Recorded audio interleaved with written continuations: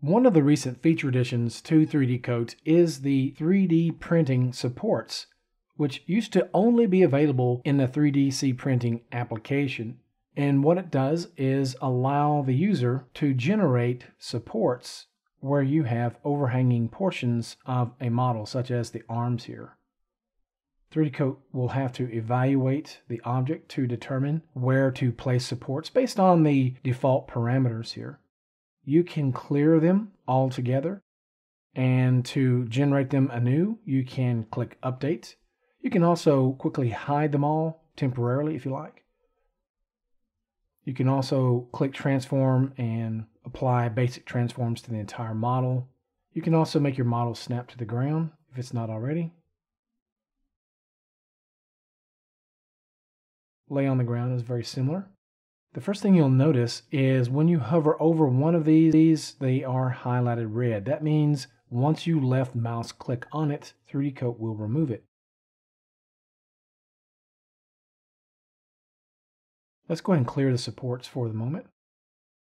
And let's say we want to create our own, or maybe if you want to add some, you can simply left mouse click on a portion where you want the top end of the rod to connect.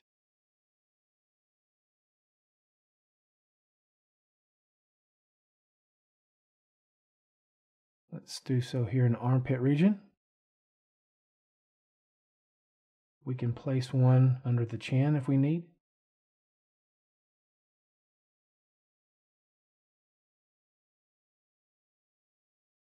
Okay, now let's make adjustments to these rods. If we need, we can adjust the overall thickness of the top end of the rod by adjusting this parameter. You can adjust it numerically as well. Let's make it 5.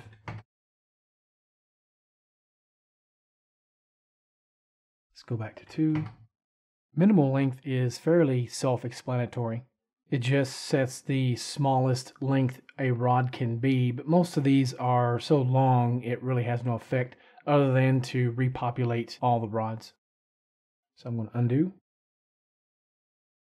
End radius is basically adjusting the radius right at the point where it touches the model. Now, the other one that we looked at here, rod top diameter, is basically adjusting this area. This one, end radius, adjust it right here where we make contact. So let's make that one. You can see how it's changing it. Let's go back to point two to make it very easy to, to snap off. The top diameter, let's adjust that again. Let's go four. You can see what I'm talking about. Right where it touches, it doesn't, it's not affected, but it does affect this portion here right before it makes the break. I'll go back to something like 2. Distance between rod. I'm just going to click Update and let 3D Coat generate these on its own. So now, when we change the distance between rod, let's make that 8. As we bump this up, the more separation or the less we have of these. So let's go to 12. And one important side note is the separation occurs at the top of the rod rather than the bottom.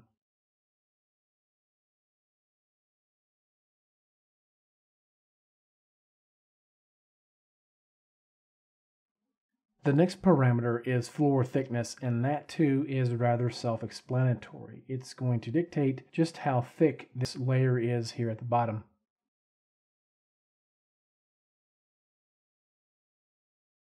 Let's adjust that upward. Let's make it 0.8, 0.1. Let's make it 1.